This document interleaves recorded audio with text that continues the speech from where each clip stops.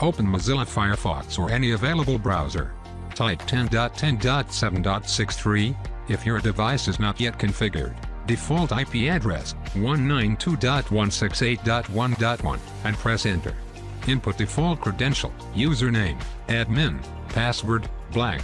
Press enter button to confirm. Select Setup Network to check the status of the network protocol of HP Switch. HP Switch is DHCP enabled. Select Maintenance and assign a strong password.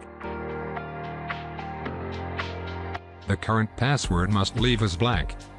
Strong format password, lowercase, uppercase, and symbol number combination.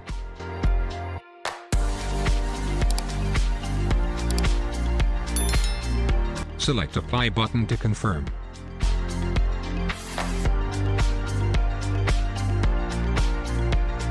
Click Save Configuration to apply changes.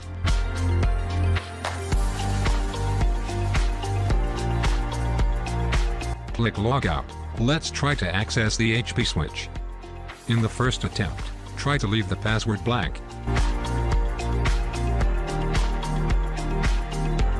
In the second attempt, input the admin password and press enter to confirm.